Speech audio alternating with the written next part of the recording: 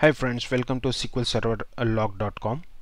Uh, today in this video we are going to see uh, a very important function SQL IIF function SQL if function.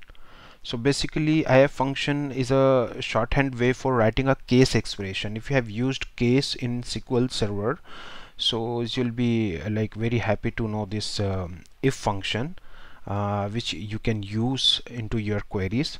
Basically it evaluates boolean expression uh, passed as the first argument and true value is written if the boolean expression is true and false value is written if the boolean expression is false. So basically it evaluates a condition and gives you true or false output.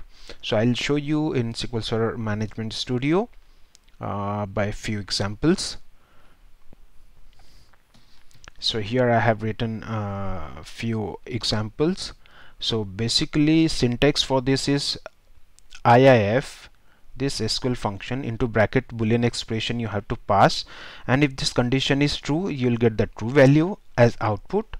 If boolean expression is false you will get the false value as output. So condition will be evaluated in uh, IIF function and you'll get the true or false as output for example in this condition I'm selecting select command IIF function into bracket 100 is less than 500 if this condition is true then output will be true. If this condition is false if this condition is false then output output will be false. Okay so I will uh, run it. We know very well 100 is less than 500 which is correct okay so you'll get the output as true.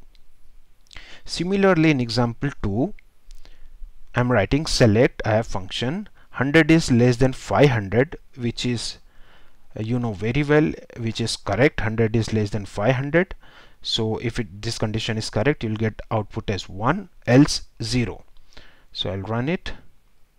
So you'll get the output as 1 similarly in example 3 I'm taking two variables num1 and num2 and I'm giving num1 as 100 and num2 as 200 and I'm just selecting if function IIF function if num1 is greater than or equal to num2 okay.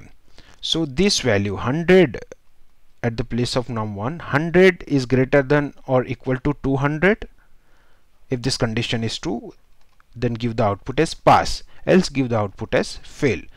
Okay so we know very well 100 is not greater than or equal to 200 so you'll get the output as fail. Okay I'll just run it.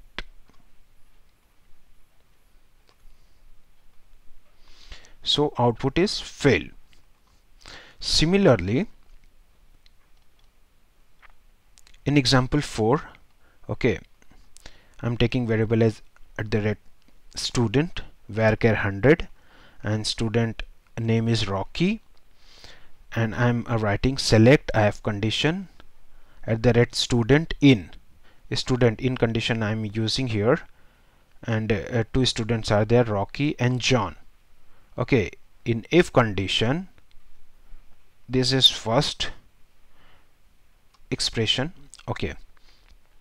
If this condition is true then my output should come as favorite subject is maths. Else if condition is false this then uh, output should come as favorite subject is science.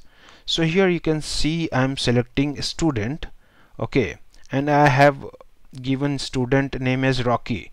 This Rocky name is available in this condition which means condition is true. So if the condition is true then first result will come. Okay. So I'll just execute it. Favorite subject is maths.